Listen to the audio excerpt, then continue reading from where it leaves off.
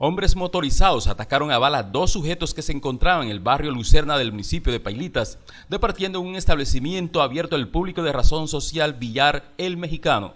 Las víctimas inicialmente fueron llevadas al hospital de la localidad, pero por la gravedad de las heridas las remitieron hasta el municipio de Aguachica, donde falleció Freddy Trillos de 41 años, quien recibió varios impactos de bala, mientras que la otra persona, identificada como Heider Carvajalino Chinchilla, de 40 años, también resultó lesionada y se recupera en un centro asistencial. Según testigos, las personas se encontraban tomando cerveza en el lugar donde se presentó el atentado criminal cuando llegaron los sicarios y dispararon sin mediar palabras. Javier Toro, alcalde de Pailitas, dijo que el hecho se presentó alrededor de las 7 y 30 de la noche de este domingo, que las dos personas asesinadas son naturales de la localidad y que al parecer tenían anotaciones judiciales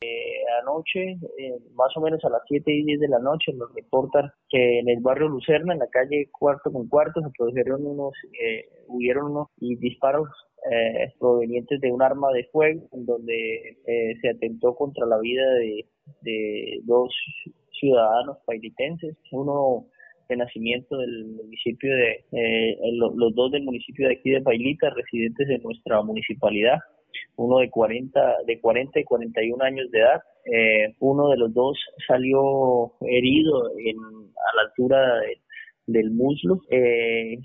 en el, el, otro, pues lastimosamente fue herido, tras, trasladado a la, a la ciudad de Huachica, pero falleció en el camino. Eso, eso ocurrió en inmediaciones del barrio Lucerna, pero inmediatamente pues se produjeron los hechos, este, fueron remitidos al hospital Eli Moreno Blanco, donde